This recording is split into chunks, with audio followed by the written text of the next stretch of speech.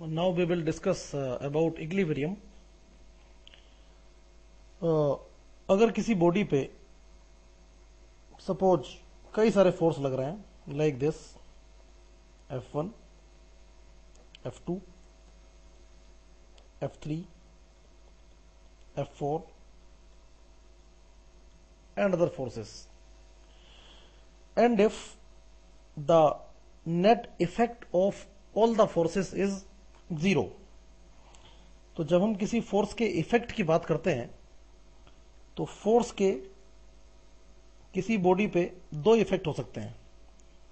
एक तो ये फोर्स बॉडी को ट्रांसलेट करा सकता है, यानी कि ट्रांसलेशनल इफ़ेक्ट और दूसरा, कोई फोर्स किसी बॉडी को रोटेट भी करा सकता है, यानी कि रोटेशनल इफ़ेक्ट तो कहने का मतलब यह हुआ कि फोर्स को अप्लाई करने के बाद या तो बॉडी ट्रांसलेट करेगी या रोटेट करेगी डिपेंडिंग अपॉन के बॉडी को आपने किस तरीके से रखा हुआ है। तो इक्लिबेरियम का मतलब यह हुआ कि when many forces are acting on the body and if the body is neither translating means there is no translation in the body and nor the body is rotating means there is no rotation in the body so if na body translate करे और ना ही body rotate करे then only you can say that the body is in equilibrium so for equilibrium of a body net translation as well as net rotation should be zero now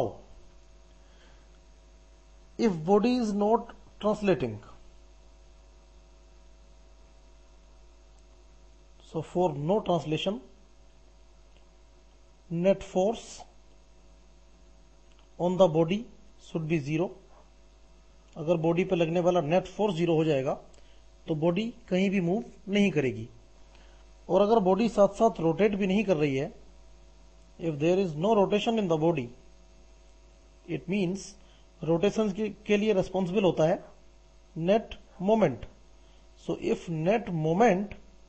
or torque is also zero then we can say that body is not rotating so it means if a body is in equilibrium then net force as well as net moment on the body should be zero अगर किसी body पे लगने वाला net force और net moment zero है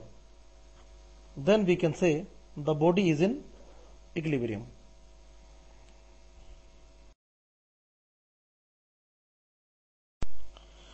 अब body के equilibrium के लिए हम दो केस यहाँ पे कंसीडर करते हैं।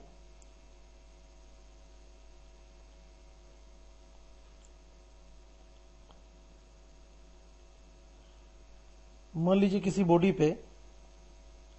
कई सारे फोर्स लग रहे हैं और वो सारे कॉन्करेंट हैं। कॉन्करेंट मीन्स सारे के सारे फोर्स किसी कॉमन पॉइंट से पास कर रहे हैं। लाइक दिस और ये बॉडी इक्लिब्रियम में भी है। तो इसका मतलब ये हुआ कि बॉडी पे लगने वाला नेट फोर्स ज़ीरो होगा। और साथ ही हम देख रहे हैं कि सारे जो फोर्स हैं वो एक ही पॉइंट से पास कर रहे हैं। इसलिए अगर इसी कॉमन पॉइंट के अबाउट ये जो कॉमन पॉइंट है जहाँ से सारे फोर्स पास कर रहे हैं, अगर हम सारे फोर्सेस का मोमेंट इसी पॉइंट के अबाउट ले लें तो वो अपने आप ज़ीरो हो जाएगा।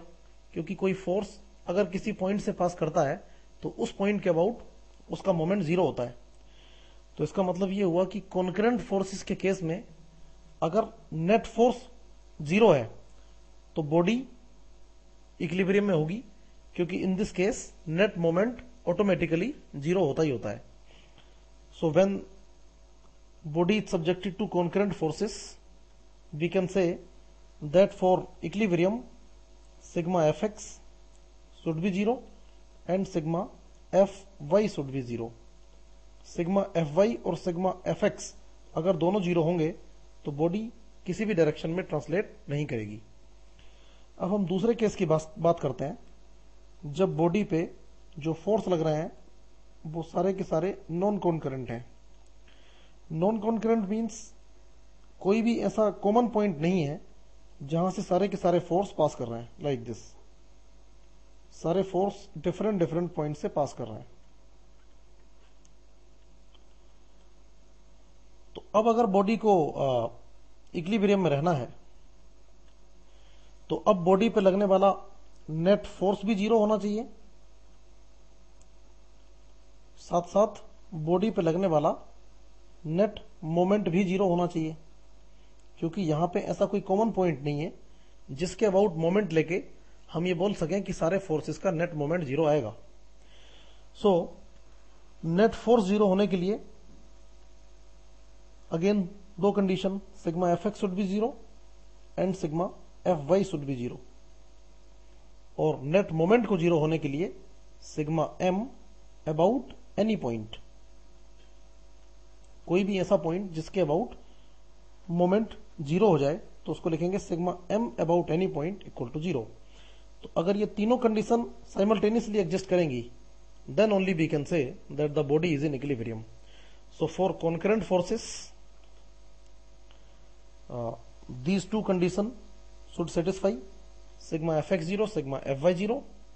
and for non-concurrent force system these three conditions should satisfy sigma fx0 sigma fy0 and sigma m about any point is equal to 0 these are the conditions of